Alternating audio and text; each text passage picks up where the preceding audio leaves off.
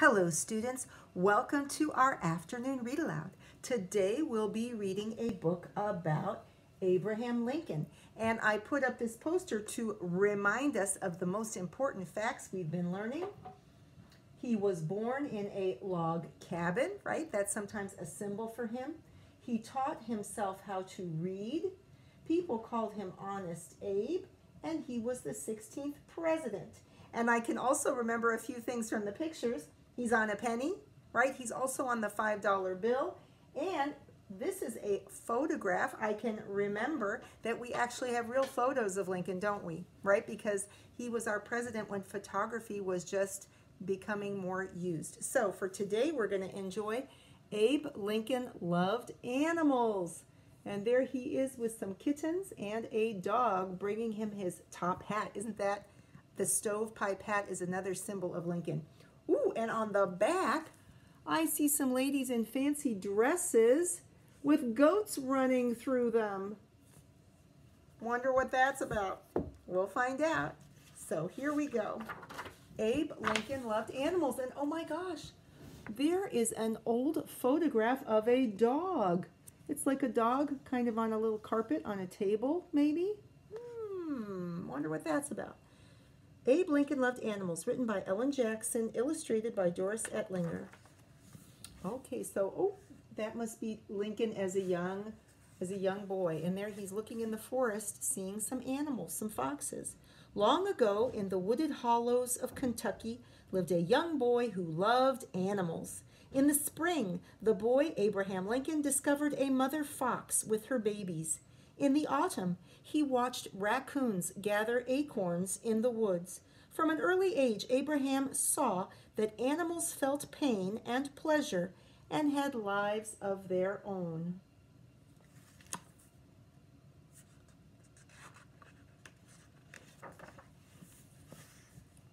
The boy's family lived on a farm, first in Kentucky and later in Indiana. Abraham and his sister Sarah fetched water, chopped firewood, and helped their mother plant seeds and grind corn. Abraham's papa often hunted rabbits or deer. Hunting was a way of life for those who lived on the frontier. Everyone worked hard to put food on the table. So they, they grow things, but they also gather and hunt things. That wobbling was Bibi. She just got up on the tree. She's up there on the cat tree right now. When Abraham grew older, his family expected him to feed the family. One day he spotted a flock of wild turkeys. He took aim with a rifle and shot one of the birds, but the sight of the dying turkey filled him with sorrow. That is, it made him super, super sad. I will never hunt a large animal again, he thought to himself and he didn't. It's interesting that he couldn't really say, I'll never hunt again, because that almost wouldn't be allowed, right? He has to bring home some meat for his family, but maybe he just stuck with like squirrels and little things. Other children would sometimes hurt animals, but not Abraham. Once at school, Abraham saw his friends putting red hot coals on the back of a turtle. He had to speak up and stop them.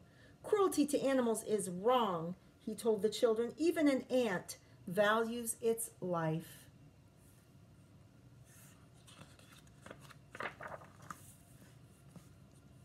When he had grown into a young man, Abraham moved to Springfield, Illinois, and worked as a lawyer. When he was only 20, he made a speech that so impressed everyone, it was printed in the newspaper. Important people began to notice him but Abraham still took time to help animals. One day, he and his friends were riding in the country. As Abraham passed a grove of wild plum and crabapple trees, he stopped. Two baby birds had been blown like leaves from their nest. He dismounted, that means he got off his horse, gathered up the birds, shinnied up the tree, that means he climbed up the tree and put them back. What foolishness! Abraham's friend Joshua Speed said, Now you've gone and ruined your good suit. I could not have slept well tonight if I had not saved those birds, said Abraham quietly. He didn't care if his friends laughed at him, so he saved the little birds, even though it ruined his nice suit. Oh, there he is with his family. At a dance in 1839, Abraham met a friendly, spunky girl named Mary Todd. Three years later, they were married. During the next 11 years, the couple had four boys Robert, Eddie, Willie, and Tad. Abraham found room in his house for cats, kittens, and dogs. He and the boys liked to walk in the woods, looking for insects, butterflies, and rocks. Abraham traveled to nearby towns to work with people who needed a lawyer. He rode Old Bob, who was probably his favorite animal companion. After a ride, Abraham would examine Bob's feet, give him a carrot, and rub his nose. So their family had lots of animals, and he took especially good care of his horse. Not just because he it was right he was riding it everywhere, but I think he had, took extra care because he thought he understood that animals have lives and feelings just like we do. A floppy eared dog named Fido came to live with the Lincoln family. Abraham and Fido would often walk down the street with the dog carrying a parcel in its mouth, so he would carry packages. When Abraham stopped for a haircut at Billy's barber shop, Fido waited patiently outside. Unless a group of children came by, then Fido jumped and played until Abraham was ready to go home.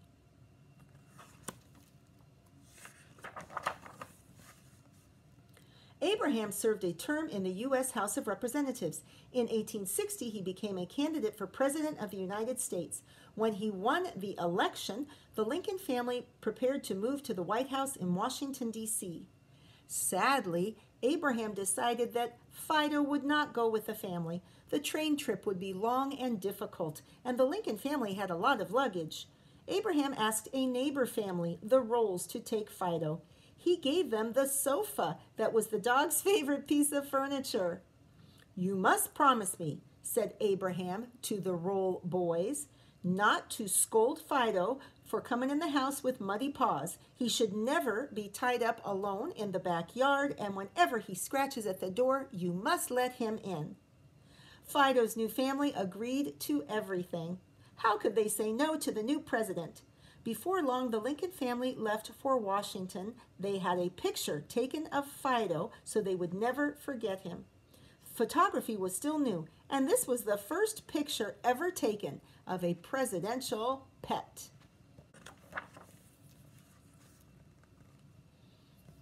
Ooh, hey, this is like the picture from the back, except here we can see the goats are pulling a boy in a chair. But it looks like a party. Oh no, what's up? In Washington, the Lincoln family filled their new home with pets rabbits, dogs, cats, even a couple of goats. Tad, Abraham's youngest son, once hitched the goats to a chair and drove them through the White House, scattering a group of women attending a reception. A guest noticed how the president pampered the family cat who sat next to him during dinner.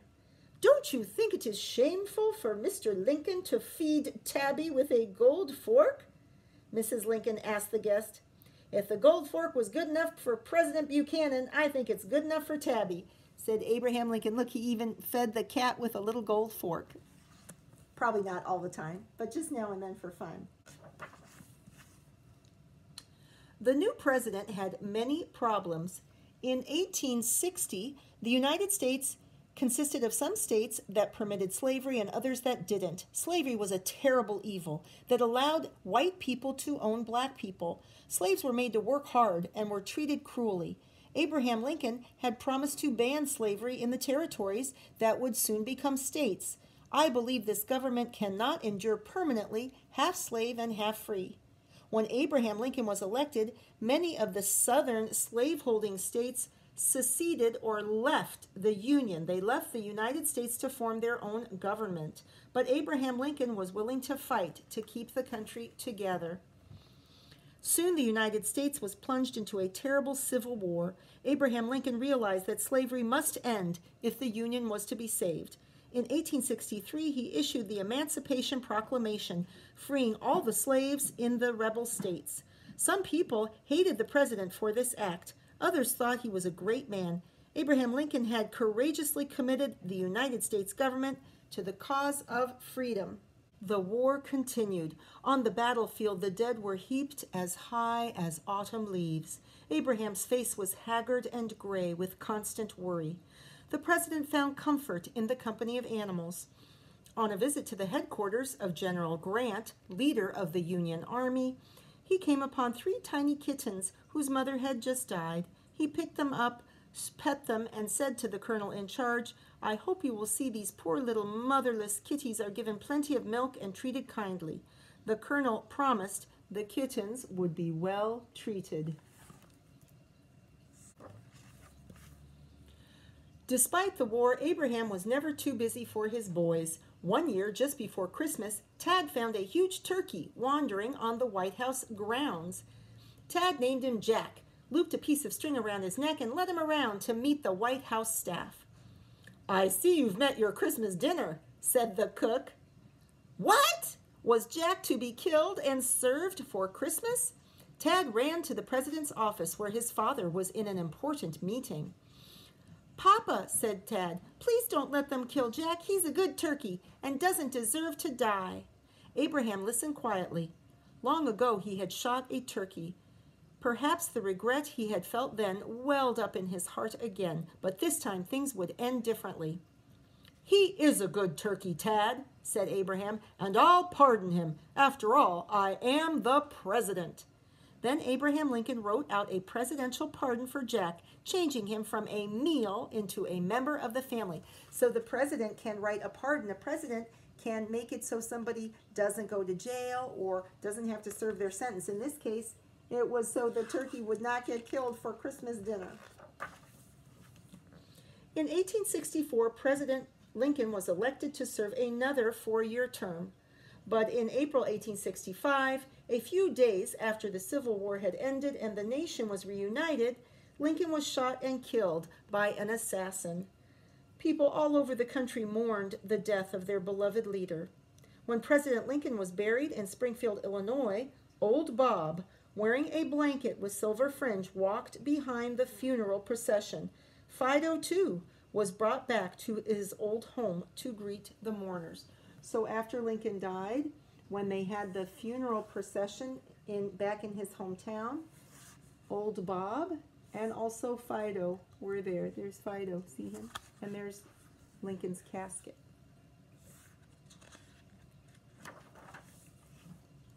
Today, people everywhere honor Abraham Lincoln, the president who saved the Union and issued the Emancipation Proclamation. Abraham's love for animals lives on. Each Thanksgiving, the President of the United States pardons a turkey, just as Abraham Lincoln did more than 100 years ago. Abraham Lincoln's kind heart had room for all creatures, great and small. A Native American legend says that when humans die, they are greeted by all the animals they made friends with when they were alive. If so, voices from the air, the water, and the land must have welcomed Abraham Lincoln home. So that's a picture of a modern day president pardoning, signing the pardon paper for the turkey. And here's a picture from the illustrator's imagination showing like Abraham Lincoln, right after he's died, meeting all the animals that he was friends with and that he took care for. Okay. So since we got to do something at the end, I want to compare. That means kind of look at side by side. Do you remember the photograph from the title page? There is the real photograph of their family dog, Fido, right? And here is a picture. Here's the illustrator's picture of maybe when the photo was taken because there is the dog, right, on the little sofa, and there's the photographer. And look, it's like he's in the same position as in the photograph. So I hope you enjoyed Abe Lincoln Loves Animals, and I hope you have a great afternoon. Don't forget to keep washing your hands, cover your coughs and sneezes, do some reading, do some writing, help your family around the house, and I'll see you tomorrow. Bye.